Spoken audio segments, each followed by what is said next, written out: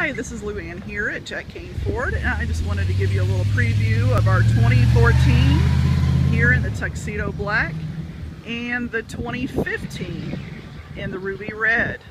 There are some changes to the front end grille, lightings, and I also will show you the back end that has a little bit, few changes.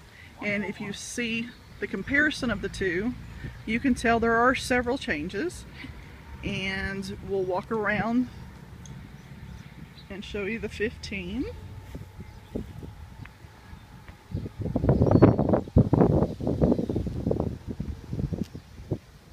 And here are the back ends of both.